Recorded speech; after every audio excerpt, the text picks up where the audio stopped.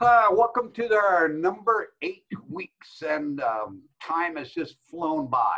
Uh, good to see you, Don. Nice to see you, Meghan. And you. Um, let's go through just a brief review of what we've done in the last eight weeks.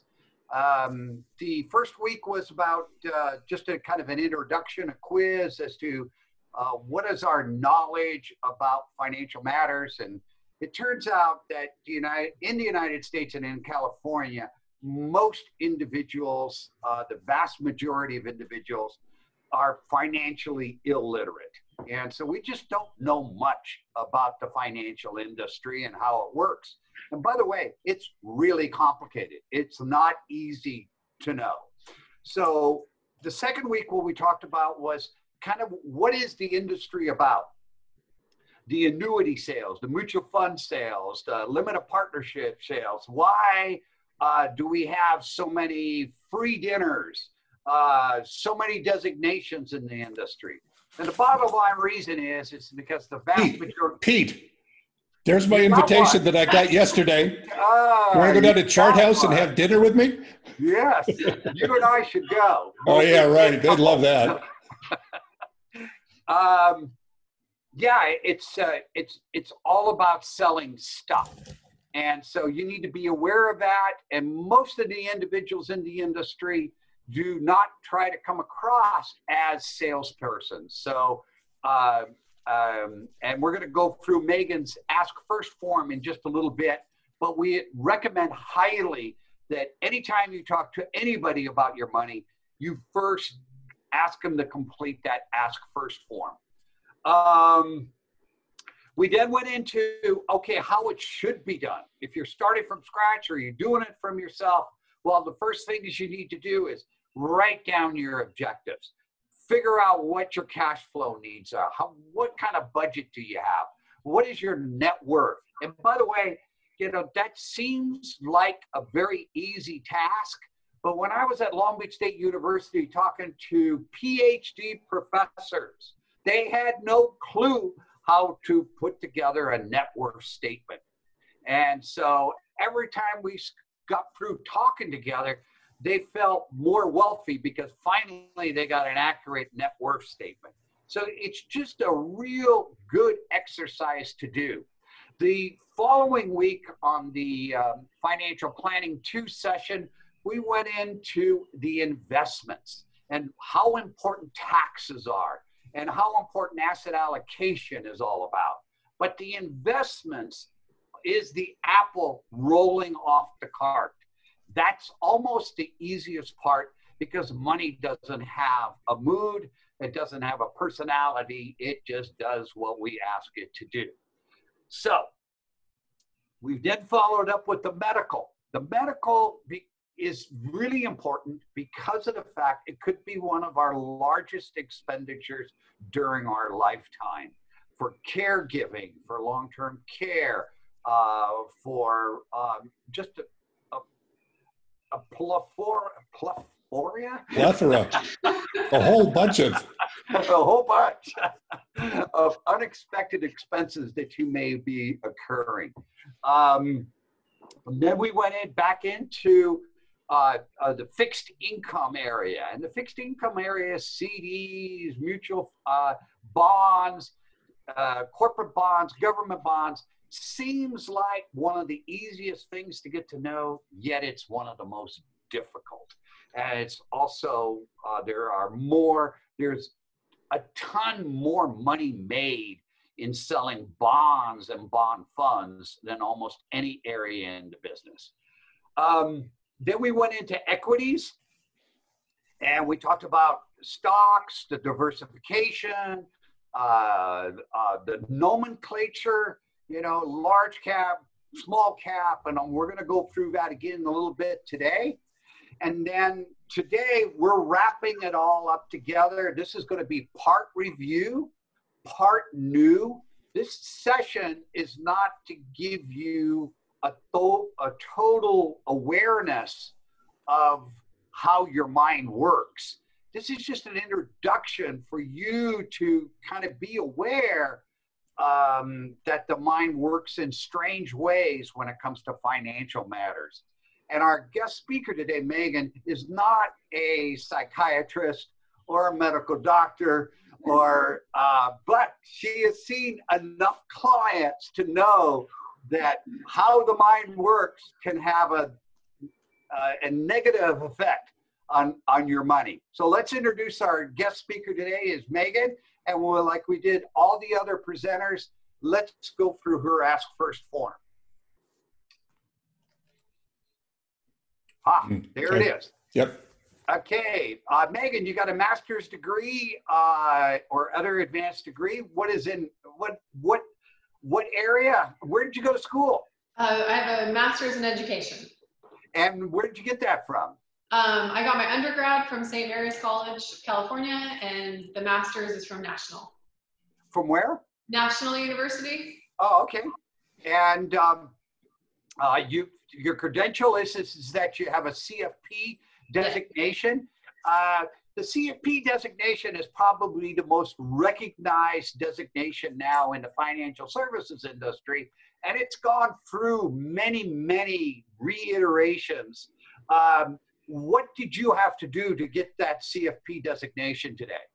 I had to have two years of experience. Um, I took a, an exam that was six hours.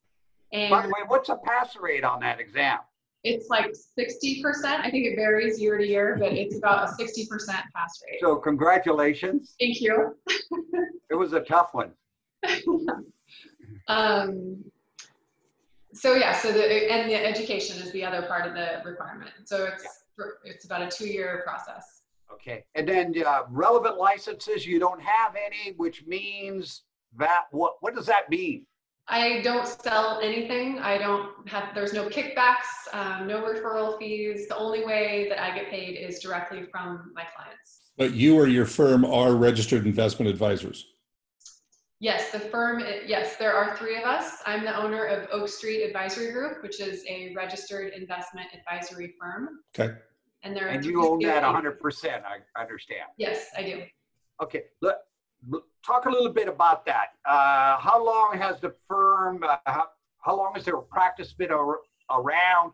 Uh, how many clients do you have? What's the uh, um, amount under management? Tell us a little bit about all of that.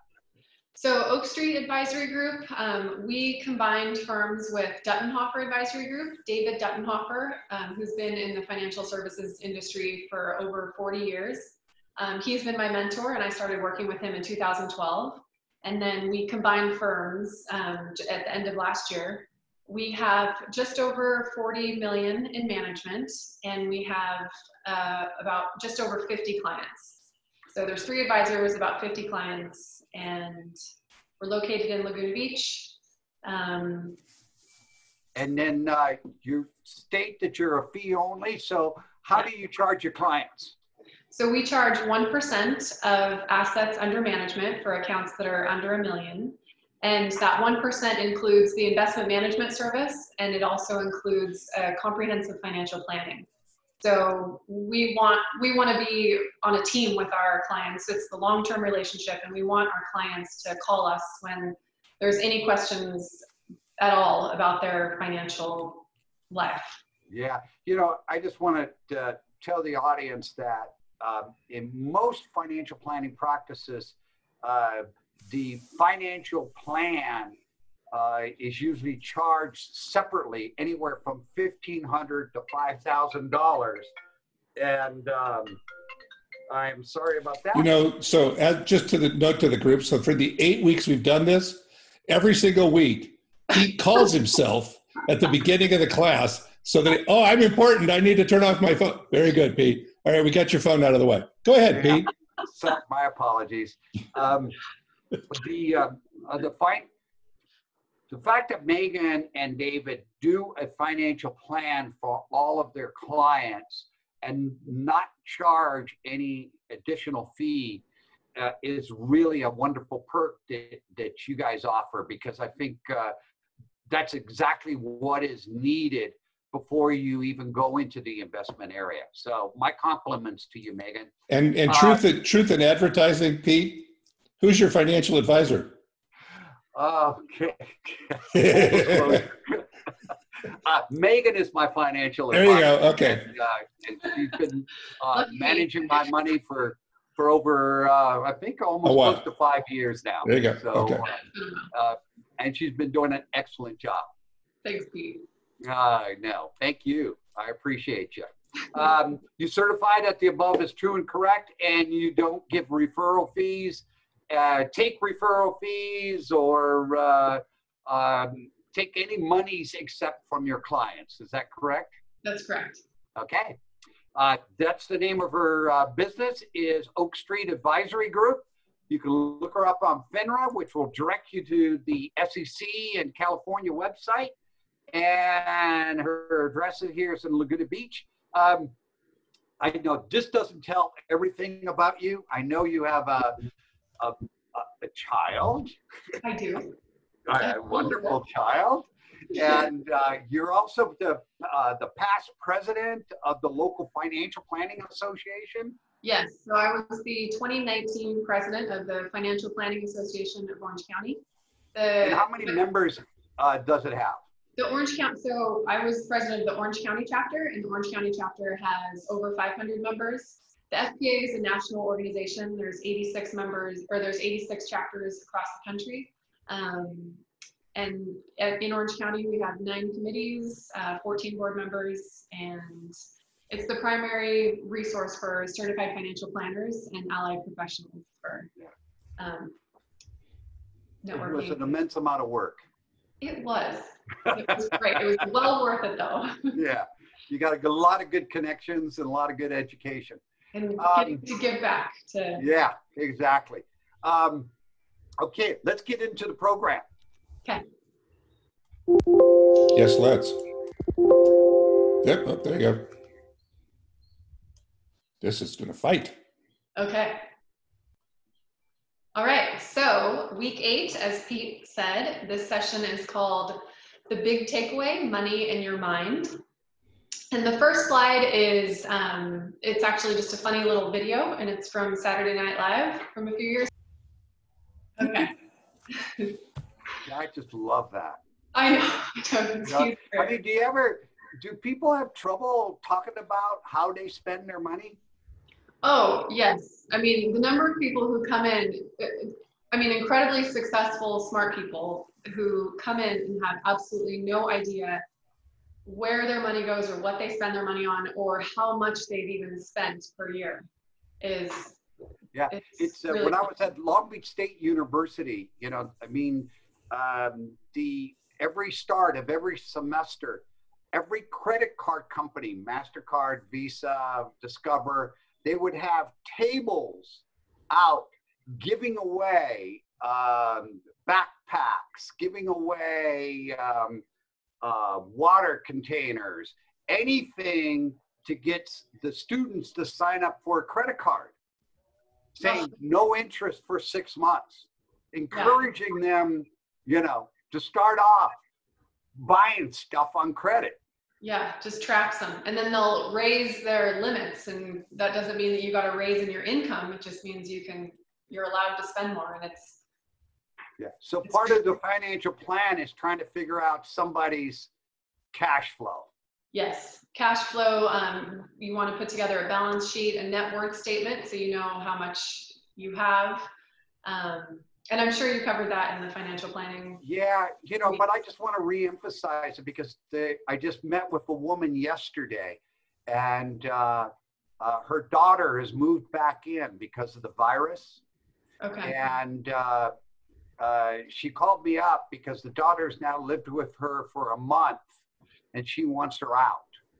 And I asked her, well, why do you want her to move out? And she said, because I, she moved in with a dog and a cat.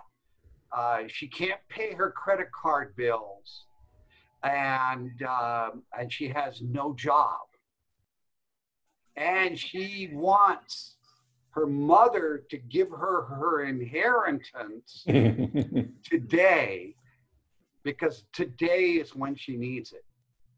And the mother is just basically panicked So one of the things that you know I've suggested to her is is to see a fee-only advisor and to bring the daughter in with her. So the facts of life. And I think this video that you just showed from Saturday Night Live would be the first one, uh, first thing you should show her.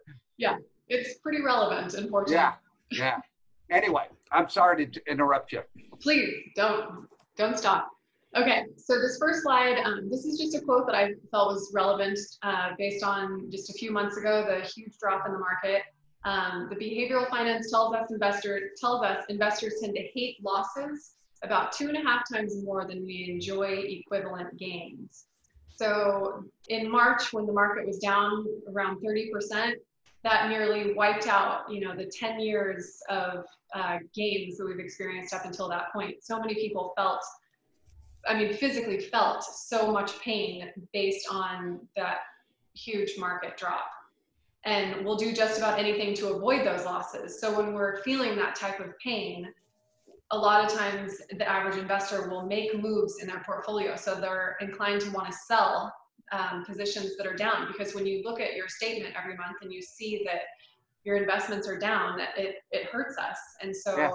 so when you that. so when you have a client in the beginning, when you first meet with the client, will they when there's a drop in the market like this, like we had experienced, do they call you and say, I want out? I try to do a lot of educating up front. So luckily in March, I actually didn't have any clients that I had to quote talk off the ledge that um, I didn't have any. Um, but I know that it's extremely common for people to feel that way. And I know that a lot of other advisor friends did have clients um, calling panicked, wanting to sell and get rid of everything. But that is the worst possible time you could sell and get rid of everything at the bottom. Yeah. Um, yeah, it's amazing how the market has come back, you know, just in this uh, last small yeah. period of time. Right. And it kind of goes to show that the market is going to go up and down. Yes. And, and, just, and have a plan. Yeah. Um, so, so today, on the agenda today, so the things that we're going to talk about, um, we will look at the average investor's report card. Um, so just how the average investor has been performing why investors are hardwired to fail, the academic research behind it. We'll look at our minds and the media, and then six key takeaways that every investor should know. So are we good investors? So talking about the just the average investor, and we will look at that compared to the index. So this first slide shows the average investor. So just looking at the top line in the first column, the average investor has, um, over the last 20 years through 2016, has performed, or, or sorry, has gained 4.79% in stocks, whereas the index has done much better. Do you think that was probably the S&P 500? Yeah, so the stocks is, so if you, Don, if you click one more, so we're giving this investor an F, and then you can see that the information is provided by a company called Dalbar. And the equities portion of this is S&P 500, the index, and the um, index bond is the Barclays aggregate. So you can see that the index is outperforming the investor by a couple percentage points. And that's not good. So the average investor is just leaving money on the table, and it's because they're making these emotional mistakes.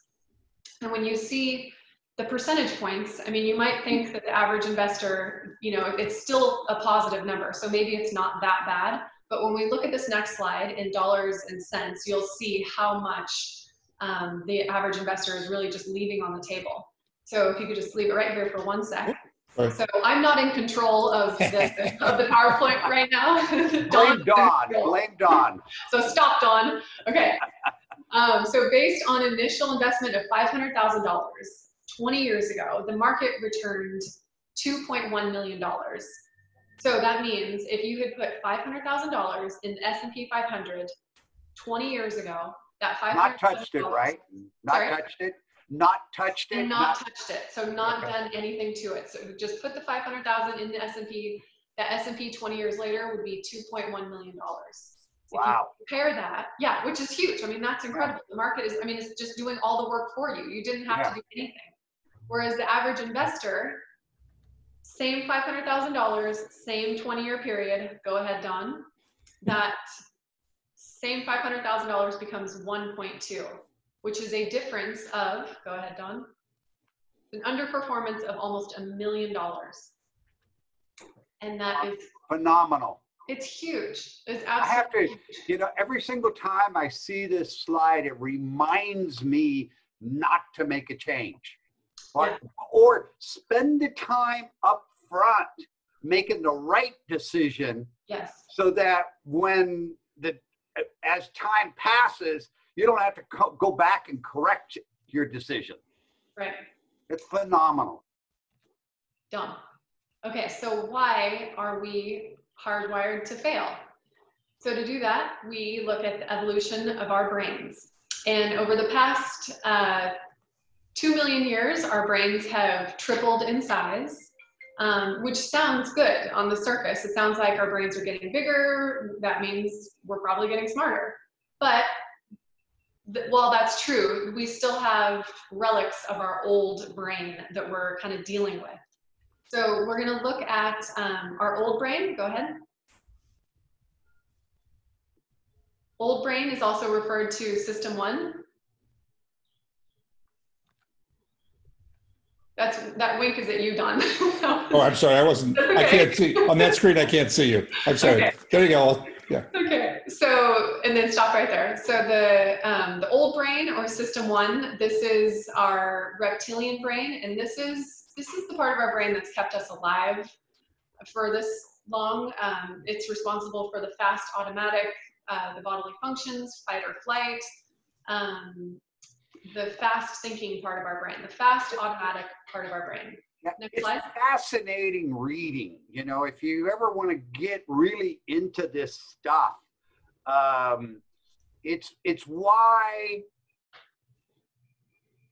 why how grocery shelves are stocked, how uh, um, how how focus groups are done to get you to believe a particular political point of view, how advertisements on our on our Google search when we're Yeah. searching something or bring up a page, the advertisements that pop up. It's all Yeah, they they they they just study this. try to do everything they possibly can to get to the reptilian part of our brain.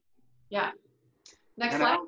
Wait, no, I was going to say that, and one of the interesting parts is if you go to like a computer store or something, when you go to check out, they have these long aisles you have to snake through, and it's junk food. Because of course you wouldn't thought of it, you have thought of anything, so we're going to let you buy food now while you're checking out of a computer store. It's like what the heck? So Yeah. anyway, IKEA is really good at that as well. yes, yeah.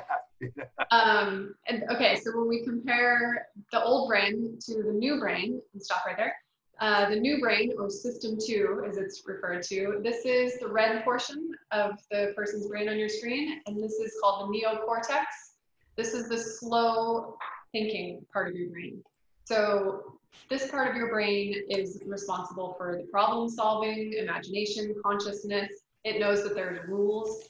Um, You know, it- and you know what's interesting too is is that uh, uh, men's or boys' frontal cortex develops much slower than girls or women's frontal cortex. I know that makes complete sense to you. so Pete, since we're roughly the same age at about seventy, has it Yeah. developed for us? Yeah, Huh? exactly. Exactly. Yeah. And, and, and not only that, but we don't want to use this part of our brain. Oh no. We no, want this is, everything to be automatic. yeah, this is the hard part. It's it's hard to engage this part of our brain. It, it takes much more effort than um, than When you're sitting down with a client going through the financial plan and are, are, are you, can, you have to make sure that they're following you, correct? yes, Because, because they want to completely skip right into, okay, let's talk about the investments. yeah, yeah, yeah, absolutely. Yeah. Um, next slide, and then stop. Okay, so we are going to play a brain game. I am going to show a picture, and I would like for you, Pete and Don, to say out loud the first thing that comes to your mind. It should be all the attendees watching. Ah, Next, happy. Happy next, oh no. surprise. next. Oh, So sad. Loving. Stop. 408. Give me a calculator. Yeah. So this is an example of system one versus system two, and you can go ahead and click. So system one is the fast automatic part. So when I showed the picture of the sad baby, it took basically zero effort on your part to know that that baby was sad. And so the first thing that comes out of most people's mouth is sad or crying or you know whatever just the effortless So all your advertising on TV and newspapers and Google and is all basically system one. Yeah. Whereas the 17 times 24, when you see that, you know that there's rules behind it and you know that you don't know the answer. So your brain doesn't just spit something out because it, it doesn't know the answer unless you're Don and you're a CPA and you have a calculator right there. but that's the. You that's- assume I had to use a calculator. It was because my slow brain remembered it from last week. okay, uh, next. You know, you know, I just thought of another thing too. If you go back to the slide, is this is that what I find brokerage firms doing if somebody, if a client has a question, they'll inundate them with system two material. And whether they understand it or not, but it makes them feel very comfortable that if they ever want to go to the material and get the you know underlying reasons they have it there it's it's amazing the way they work system two to system one Yeah. And So, from a prospectus standpoint for an investment, they're going to make it very small print and very confusing and very lengthy, as And opposed to the legally- one PowerPoint, the one PowerPoint slide that goes buy now. Yes, and now they can legally say they gave you all the information. you got it don okay, academic research. Go ahead. Couple more. One more. All right. So the Oh, one more. See, there, there's a delay. There you go. There we go. So the academic research um, behind economic models assumes that human beings are rational and capable people. So it doesn't really take into consideration that there's we still have this reptilian brain. It assumes that we're making that we're capable of making decisions on our own. So I did a quick little Google search of um, some just general human behavior. And go ahead, Don. I think there's like four clicks found some pictures of people making what I would call questionable, not necessarily rational or capable decisions. One more. Okay, go ahead.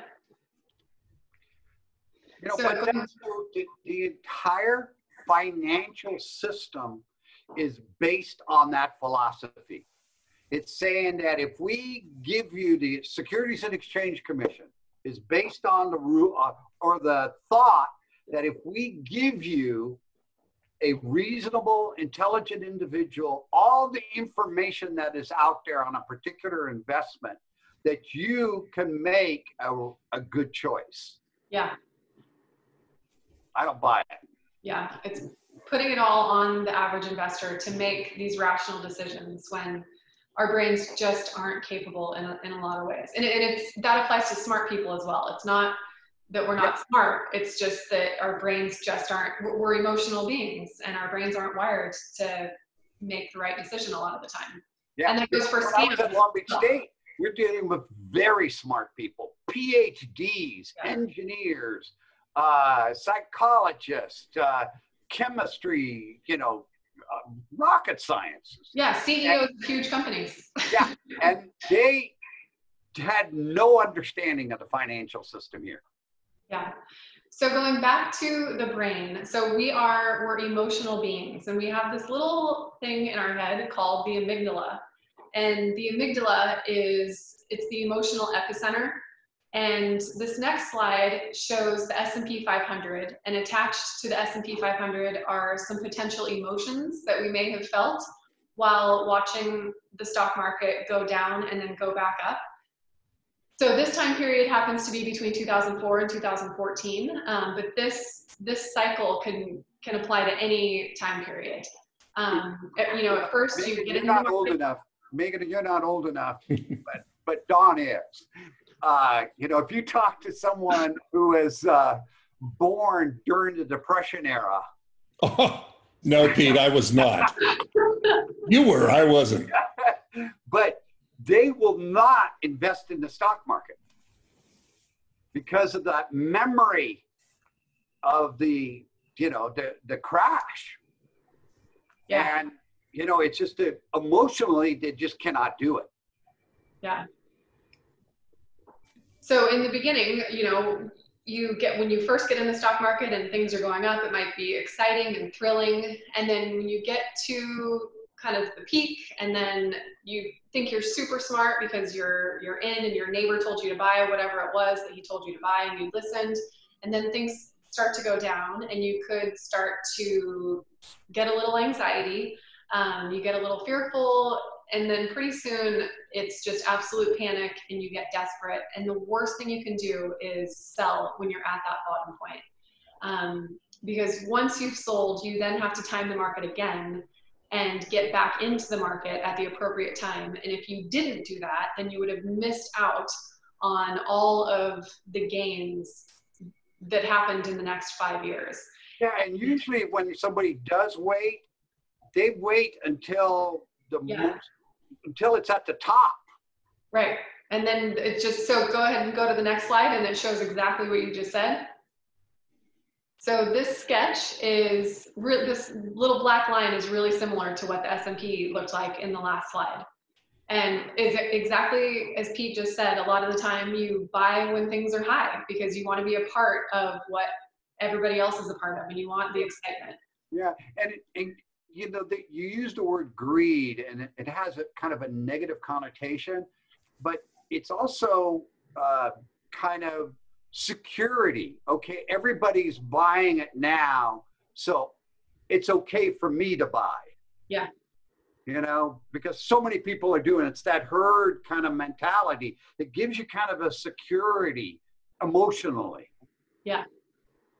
And then, go ahead. Okay, so um, behavioral economics is a fairly new field of study, and it applies to the psychological insights into human behavior to explain economic decision making. Um, so Roy Baumeister, who's a social psychologist, uh, so this guy says that the mind is hardwired to react more strongly to negative than to positive. So that goes back to the first, um, one of the first slides we looked at. Human, side, human society has existed for about 150,000 years, and for 140,000 of those years, people lived as nomadic hunters and gatherers. So we're kind of in like uncharted territory here as far as investing goes and the behavioral economics. Um, go ahead. You'd hope after 10,000 years we'd figure it out, but Right? who knows? That's early. Brain's a little- That's early. if we've been doing it for 140,000 years, something the way differently. Yeah. I think we underestimate how young we are. Uh, give you give you an example. Um, it used to be that a 401k plan in a company was voluntary, and you had to make a, a move to get into the 401k plan. Yeah. You had to do something. About I think it's about five years ago. I can't I can't remember, but now it's you have to opt out of the 401k program at your company. They automatically put you in. Just that simple change created 40% greater people actually saving money at their work. It's all behavioral economics. Yeah. And now we have 24 hour news cycle. Um, you know, it's, it's constantly thrown at us between, you know, all different points of view and it's just, it's nonstop and it's overwhelming. Uh, next slide. So we're making a ton of mistakes and stop right here for a sec, um, which is crazy to think about because our brains are huge. We have more information available to us now than we ever have in the past. So we ask the question in this next slide, is more better? Is it better to have more? Go ahead. Who thinks more is better than less? Okay, why? More is better than less because if stuff is not le- if there's more less stuff, then you might you might want to have some more, and your parents just don't let you because there's only a little bit. Right. We want more. We want more. Like you really like it. You Right. want more. I follow you. It's not complicated. I love that. Me too, because we're literally that way, you know, as adults. Oh, you yeah. know? Yeah, my little toddler's favorite word is more, more, Yeah. more, more, more, more, more. Yeah. So, um, so is more actually better? So turns out that more is not necessarily better. And the magic number, according to George A. Miller, uh, who's a, um, what is he? Is he, a, he's a psychologist, not a psychologist. Expert. He's an expert. Thank you very much. Um, so is is seven. So we can really only handle uh, seven It's variables. we have the phone number. Yeah, and a driver's or not a driver's license, but a license plate. Um, So yeah, seven is kind of our magic spot, our happy spot. And so when we see charts like this, most people just turn off. We either turn off or we revert to shortcuts. And go ahead, Don. Here's a list of some of the shortcuts. The first one is confirmation bias. So confirmation bias means that we are going to read or listen to or believe what we already think is true. So if we are certain that this coronavirus is going to end really soon, then all the articles and everything that we listen to is going to be all about it coming to an end right away. And if we think that this is going to go on forever, then anything we read is going to be more related to that. Um, recency bias, so that refers to um, an example of that would be the housing crisis so or the housing bubble so a lot of people are maybe scared to buy homes now because they're sure that we are soon to be in a housing bubble and how the housing market is just going to crash in the next couple of years um, hurting that's it goes even into the industry. Uh, mortgage companies are believing that uh, uh, not lending all of a sudden as much because of the fact that they believe that people are unemployed, won't be able to pay back their money. And so this belief is even amongst the professional community. yeah um, hurting so that's just go, you know going along with the herd And we like to be part of the group that we're Group not alone, you know? Yeah, absolutely. Safety in numbers. Yeah. Um, prospect theory says that the pain of loss is twice as bad as the joy of gain. So that one also goes back to the first slide where it hurts worse to lose money than it feels good to gain money. Yeah, you know, ever since we started this program and and I've started becoming familiar with confirmation bias, I'm trying to force myself to to seek outside opinions where I normally would go, but it's so hard. you know, I, I, I want to read scholastic works that that uh, that confirm my original belief. Yeah. This is an example of confirmation bias. This is a screenshot from a Yahoo homepage, and the three top articles say three completely different things. So US stocks edge higher, US stocks edge lower, or US stocks little changed. And whatever your confirmation bias says, you're, you're going to click on whatever you already think to be true. Yeah, it's amazing. which doesn't help us. And it's the same news. Yeah. So go ahead and read this sentence. New York in the spring. And that is the way the vast majority of people would read it. Most people wouldn't see that there are actually two thes in the sentence. So this is another shortcut that our brain takes um, called heuristics. And it, at the end of the day, Field. yeah, yeah. Fascinating field. You know, And at the end of the day, it doesn't matter that we missed one of the thes. We are we still got the point across. yeah. It's You just know- our brain is trying to help us along because if, because we just have too much. We have more than seven variables basically at one time, all the time. So we have to take these shortcuts. You could draw a straight line and then put arrows either out or in, and it'll appear visually like one line is bigger than another. It's just, it's, it's almost like I've, I've come to the point where I don't want to trust anything my mind thinks. good. That's a good good strategy, Pete. um, so our minds in the media. So the media is not there to help us. Um, we have endless, endless amounts of information coming towards us constantly. Uh, and the only way we can, purpose of the media. what was that? What is the purpose of the media? To sell advertisements, to sell Exactly. They are not here to help us. So um, CNN tries to put on on on on words and stories that appeal to CNN viewers to keep them watching so they can sell advertising to their uh, corporate clients. Exactly.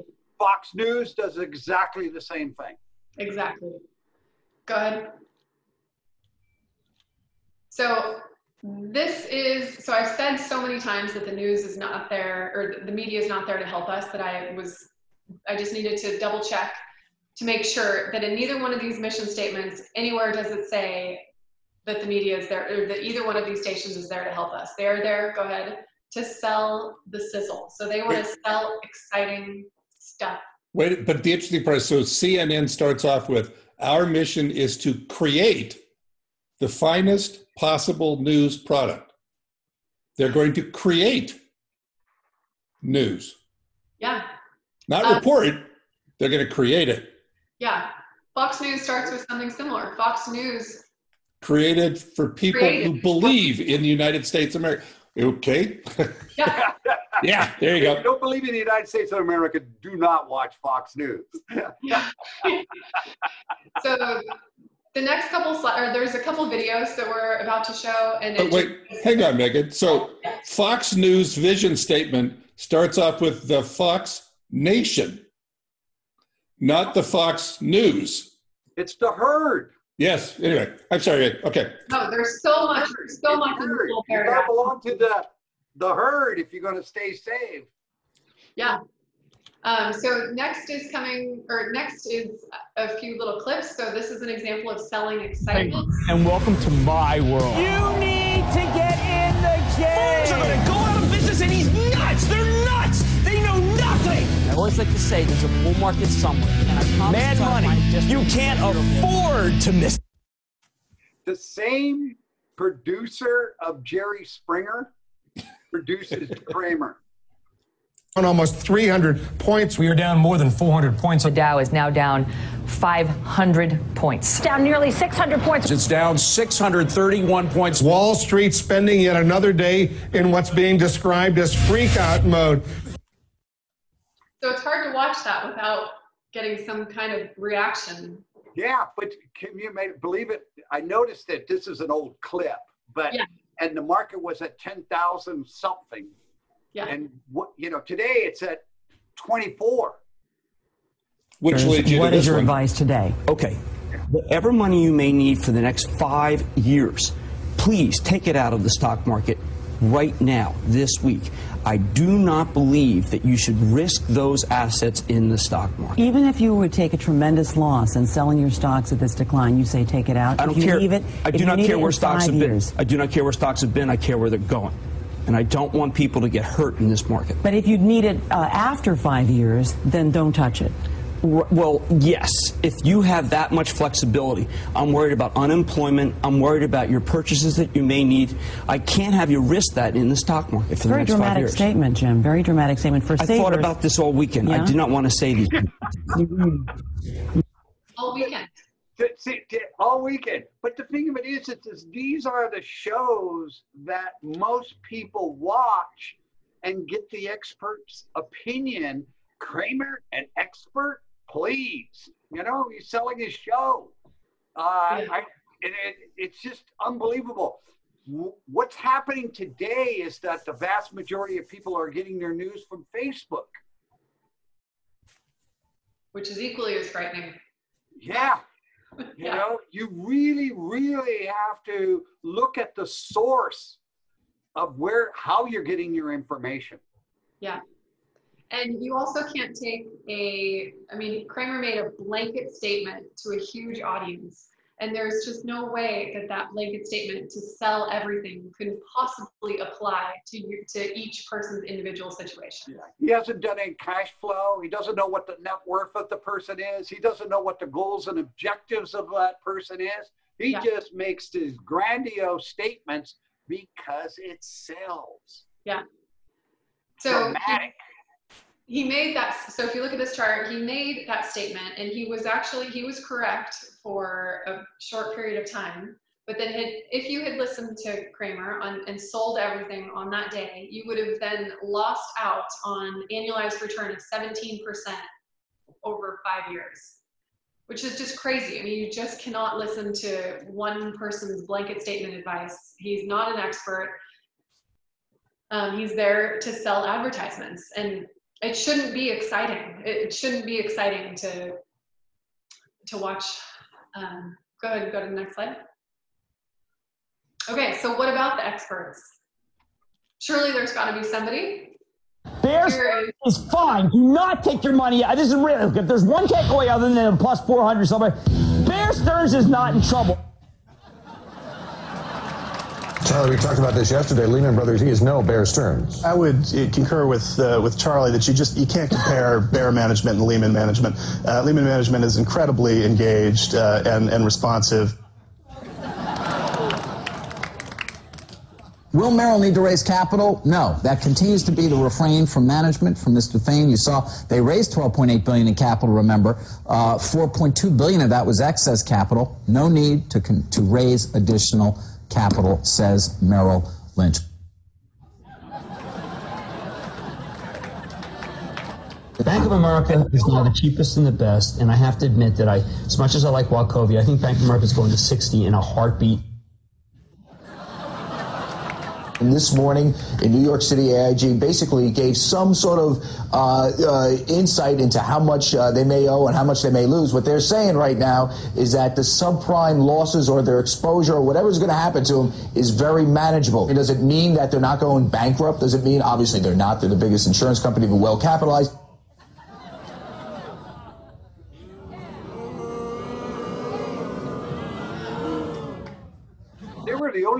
Only company rated. Not rocket science, homeowners. It's apparently alchemy. You just had to tune into CNBC shows like Fast Money and Squawk Box.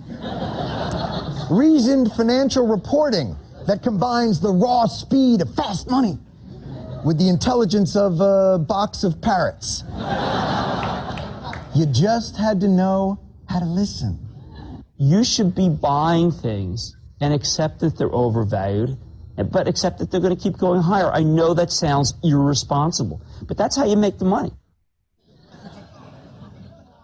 That's why the market just won't quit no matter how poorly actual companies are doing.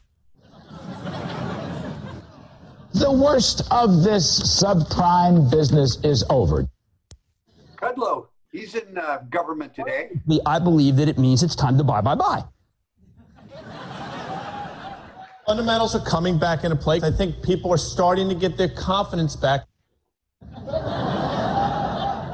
Wow. If I'd only followed CNBC's advice, I'd have a million dollars today, provided I'd started with a hundred million dollars. How do they do it?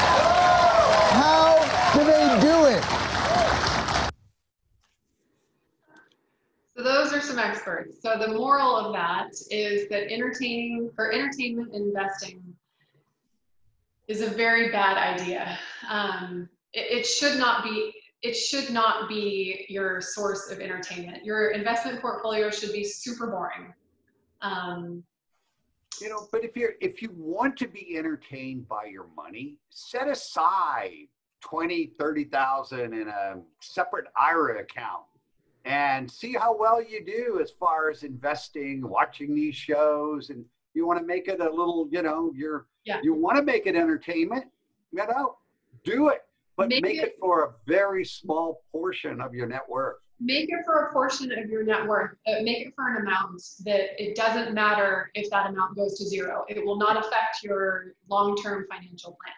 Yeah. That that amount can absolutely be afforded to like play with or gamble with or whatever you want to call it to be entertaining. But any amount other than that is not a good idea.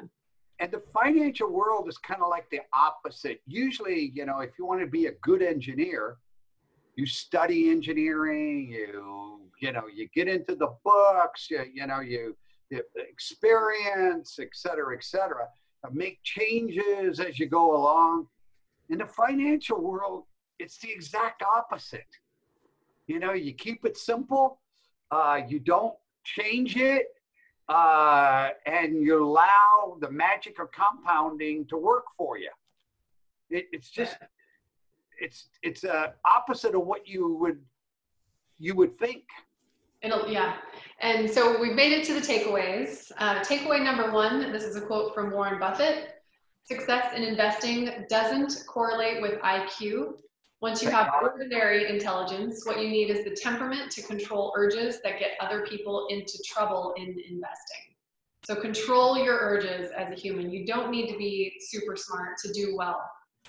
That's one of the reasons why I always recommend when a spouse, one of the spouses dies, and especially if the, it's the spouse that handled the money, to meet with and stay with a fee only advisor, fiduciary advisor, because one, they're not going to sell them anything. Right. And two is they're going to help them control their urges to make some really silly mistake. Going to the free dinner that Don showed earlier, you know, going to that dinner and all of a sudden giving the person a ton of money to buy an annuity. Yeah. Go ahead, Don. And one of the one of the points, Pete, to that one is, I agree completely. They should do that because one of the things they do not have to do is stay with the same broker, investment advisor that their spouse did. If they have nothing to do with it, then they don't have to follow whoever it was before. Find someone who, as you say, is fee only. Yeah, but but people are loyal. And so yeah. they think that if they move away from the broker, then they're they're disloyal to their spouse that just died. Right. It's it's it's it's it's emotional. It's not rational. And another example of that is um, I had a client walk in with, um, she was about 60 years old and had, I think, about $500,000 in two stocks. And she did not want to sell those two stocks because she was so emotionally attached to them because her mom had died and given those two stocks to her. And even though she was so undiversified, um, she just she didn't want to part with those two stocks. So I mean, people get so emotionally attached to to their advisor, to certain stocks. Um, and we need to disconnect those those two. Peter Lynch had a great line. He said, "A stock does not know you own it." yeah, that is very true. Yeah, yeah. I had the same thing with a woman who uh, worked her entire life at 3M, and there was no way, yeah, that she could part with her her 80% of her portfolio was 3M stock. Yeah, and it's like you can't even just you can't talk logic to that emotional connection. No. Just well, one of the ways is an investment policy statement. Should everybody have one? yes. Yeah. So an investment policy statement will say it, it'll spell out what your asset allocation is and when it's appropriate to make a change. So put a, an objective in the investment policy statement. Yeah, so it'll say something along the lines of, you know, uh, I my risk tolerance is conservative, so I would like to keep 40% in equities or stocks and the remaining 60% in bonds and cash.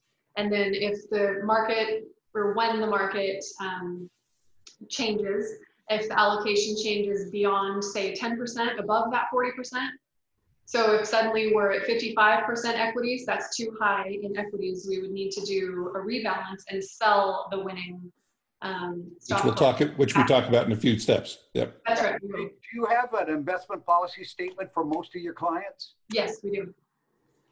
Yeah, so we need to really work on, as humans, as the average investor, as investors, we need to really work on removing the emotion. So how do we do that? We do that with an, with an investment policy statement. We need to ask, um, what if I'm wrong? We need to not go with the confirmation bias and do what Pete is trying to do and really read stuff that you may that you know you don't agree with or that you don't believe to be true. Ask what do I not know? Um, yeah, you know the reason why one of the reasons why I don't invest my own money and I have you is exactly because I don't want to do any of that stuff. Yeah. I don't want to be emotional about my money. And it's so worthwhile not to have to worry about it. Yeah. Um, so this is an article Pete actually sent me a while back and it says, please don't get emotional. And it talks about the weapons of mass deception. And this is in regards to scammers and how scammers really get into your head in the ways, the ways that they do it. So phantom riches, they can promise you big dollars. Um, fear, they'll use fear. You know, the IRS is calling you. Meghan, just a second, because phantom riches is also uh, in the financial services industry. Uh, it's in the what's the movie? The uh, Wolf of Wall Street. Uh, the Wolf from Wall Street. Yeah. That's what he did. He was selling uh, I IPOs and uh, uh, Phantom Riches. You're going to get really rich if you buy from us. Yeah. Bernie Madoff. Bernie Madoff. Yeah. Yeah. Yeah. If it sounds too good to be true, it definitely His is. portfolio never went down. What was that? Uh, Bernie Madoff's portfolios never went down because it was a Ponzi scheme. Yeah. Yeah, that it's just impossible. Yeah.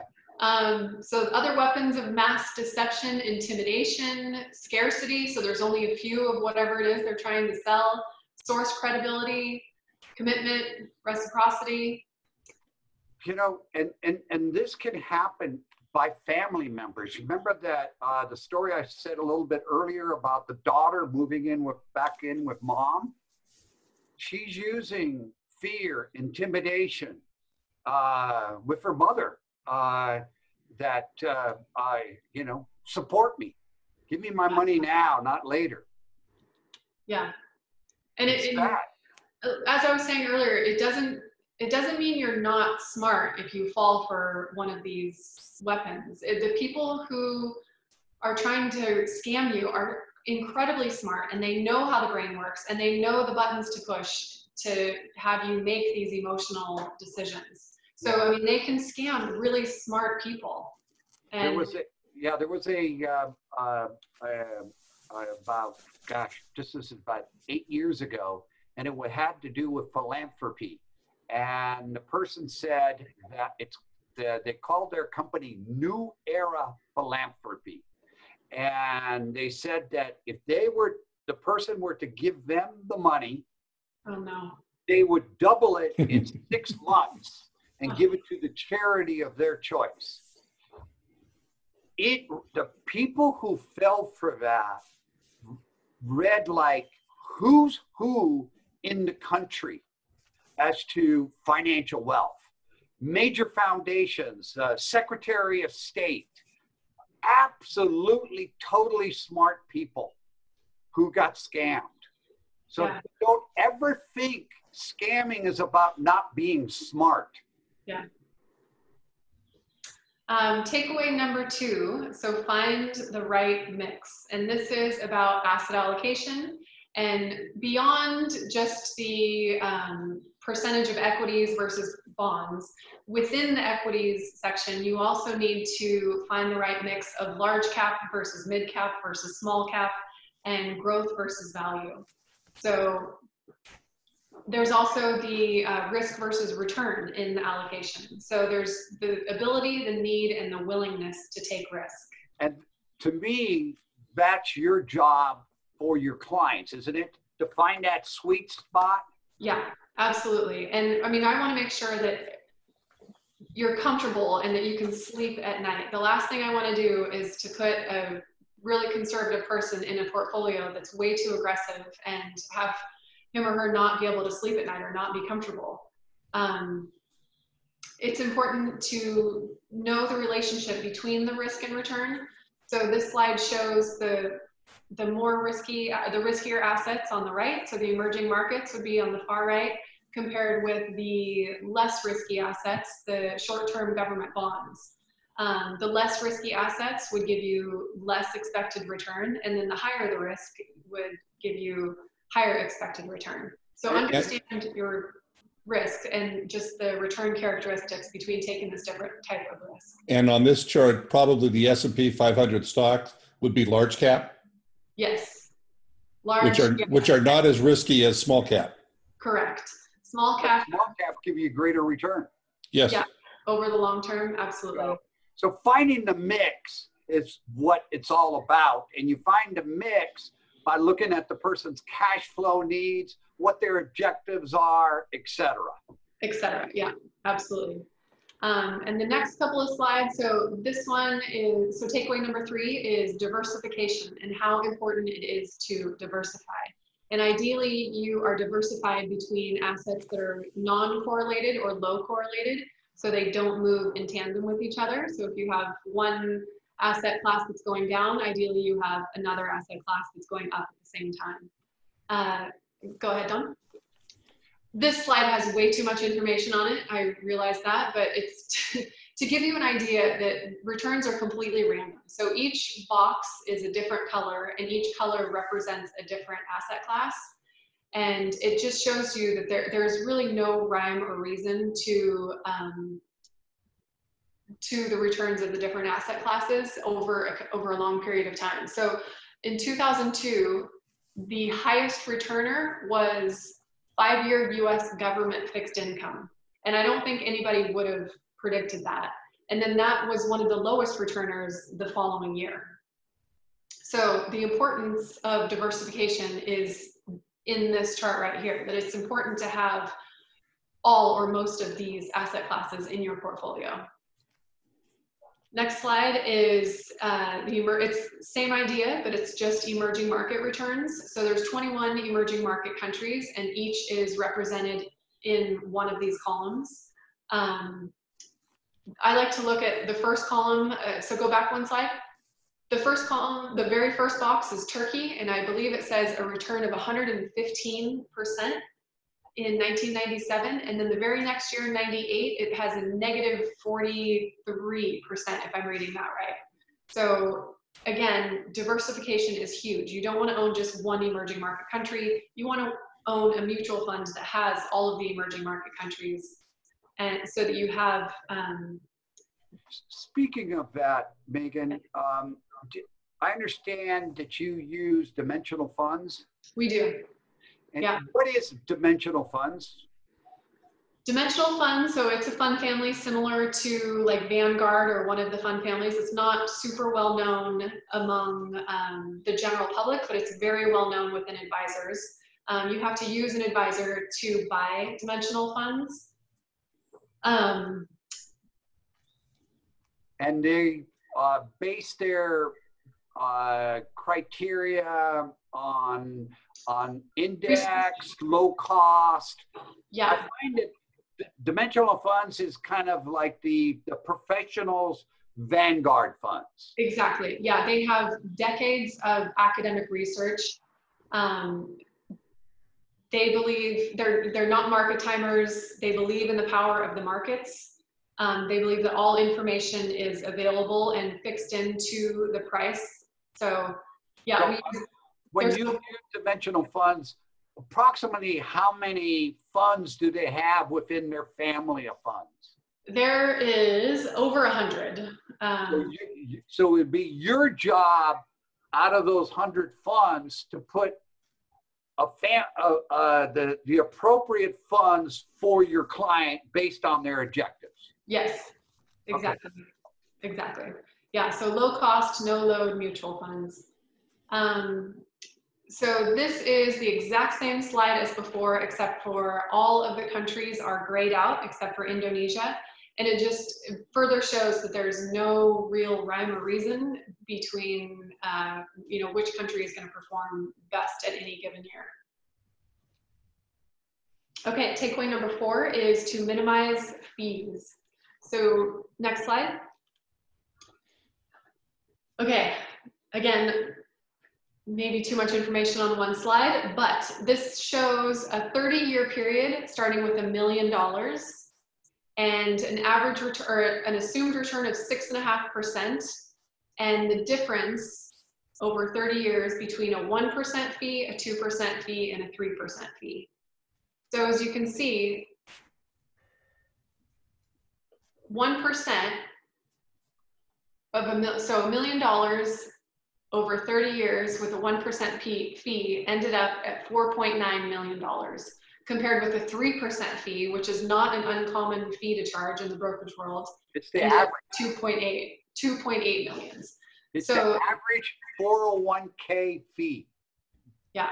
3% per year. So you want to ask, you want to ask about the fees. When you go to an investment professional, ask about the fees, and it should be a one sentence answer. It shouldn't be anything that you can't understand. It should be very straightforward and not 3%. you know what i what i hear a lot from past attendees is is that well i've been with my broker for the last 20 years it wouldn't make that big a difference in the future i don't have that long left uh, to make a change but look at the 10 years i mean i'm 71 and hopefully i'll live to 90 you know kind of my life expectancy so i've got 20 years of investing left. And look at if I didn't care about fees, what a difference my return would be. And what does that actually mean? It means less money to my family. It means less money to the charities I support.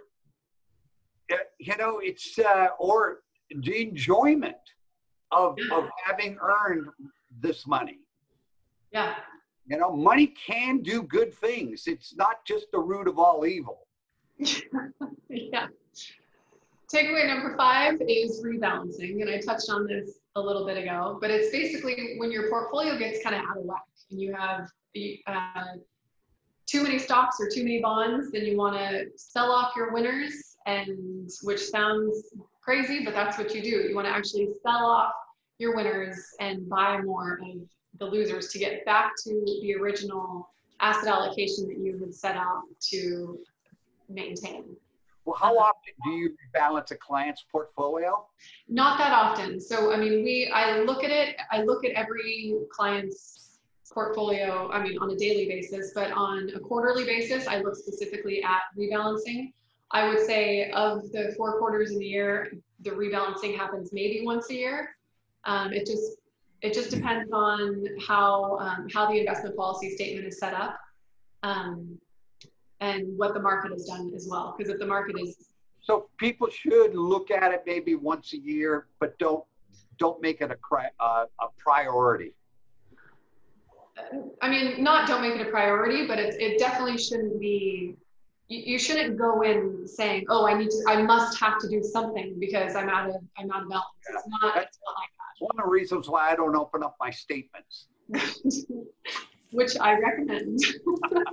because The other part of it, but also Meghan, from this case, so if I was 70 and a half, 70 and a half from before, or now moving the Secure Act to 72, my required minimum distribution. So in the case of what the slide we're looking at, you would sell bonds to pay my RMD. Correct. Yeah, because you're over in this slide, you're overweight in bonds. Right. And so I would go ahead and sell those bonds. Um, have you take your RMD with the cash that was created from that sell. And Yeah, of course. Of course, in 2020, we didn't have to take RMD, so That's right. So you want enough bonds in your portfolio where you don't aren't forced to sell your equities. Yeah. Yeah, you want your equities in there for the long haul. Go ahead, Don. All right, takeaway number six is selecting an advisor, and here is a little cartoon. Uh, relax, my broker says the economy will bounce back, and the homeless person says, I am your broker. Um, So it's it's funny, but it's not funny. yeah. Yeah. Um, so hopefully what this presentation has shown you is um, there, there are things you cannot control and there are things you can control. And the things you, we cannot control the hard wiring of our brain and then we have these old lizard brains hanging out in our head. Um, we can't control the media. We cannot market time. We can't pick superior managers or winning stocks, but there are things that we can control we need to know our tendencies. So know that it's that we have confirmation bias and that we're likely to read only the things that we think to be true. Um, we can control the right mix. So finding that appropriate asset allocation. We can diversify our portfolios to mitigate risk. Reduce our expenses, uh, rebalance when it's appropriate, but don't overdo it. We can have, uh, we can minimize our taxes. Go ahead, Don.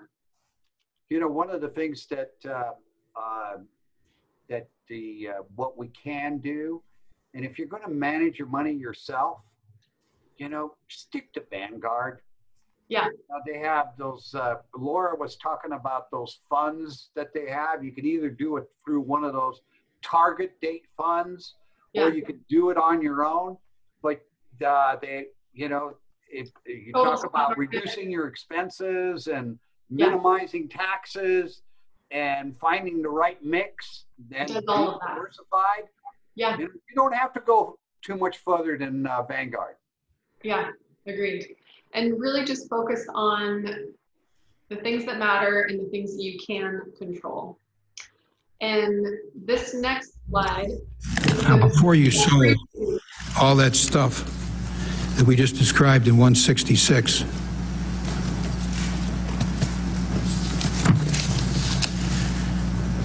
$600 million of Timberwolf securities is what you sold. Before you sold them, this is what your sales team were telling to each other. Got it? 105? Yes, Mr. Chairman. Look what your sales team was saying about Timberwolf. Boy, that Timberwolf was one shitty deal. They sold that Mr. shitty Chairman, deal. this email was from the head of the division, not the sales force. This Whatever it was, it was a, it's an internal, it's an internal Goldman document. th- This was an email to me in late June. Right, and you after sold the Timberwolf. transaction. No, no, you sold Timberwolf after as well. We did trades after that. Yeah, okay, it's And the trades after. Some you- context Yeah. might be helpful. The context, let me tell you, the context is mighty clear. June 22 is the date of this email. Boy, that Timberwolf was one shitty deal.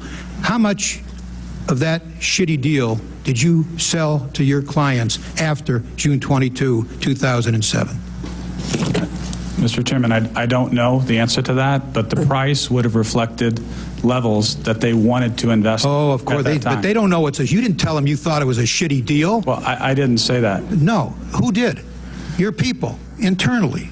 You knew it was a shitty deal, and that's what your And e- again, I- email I- shows. I, I think the context, the message that I took from the email from Mr. Montag was that my performance on that deal wasn't good. And I think the, the fact that we had lost money related to that wasn't good. How about the fact that you sold hundreds of millions of that deal after your people knew it was a shitty deal? Does that bother you at all? You sold to customers something? I don't recall selling hundreds of millions of that deal after that. All right, let's, let's take a look. Exhibit 166, series of emails. First is June 26, 07. That's after June 22.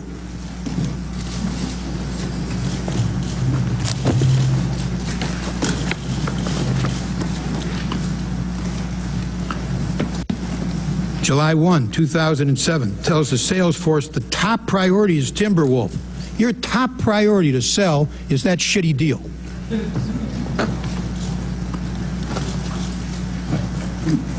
Mr. Got it? My comment was I didn't recall the sales. that- You got it? That we were One six- trying to sell. Okay, you're trying to sell a shitty deal, and it's your top priority. Come on, Mr. Sparks. Well, Mr. Should Goldman Sachs be trying to sell, and by the way, it sold it, a lot of it after that date. Should Goldman Sachs be trying to sell a shitty deal? Well, Can you answer Again, I that didn't one? use those Can you answer that one, yes or no? there are That's their job. They're brokers. They're there to sell product. You know, it's like it's amazing to me that people don't understand that. And Goldman Sachs is the gold standard in the industry. It's just unbelievable. Why this particular clip is so relevant today is, is, is that the Trump administration, through the Department of Labor, just approved Timberwolf private equity deals to be put into 401k programs.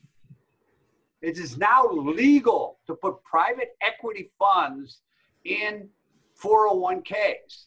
So what do you think they're going what broke what do you think brokers are going to do? They're going to put shitty deals in 401ks. Not going to be everybody, but I'm sure there's going to be a few and it's now legal to do it. You know, would you invest in any private equity deals, Meghan?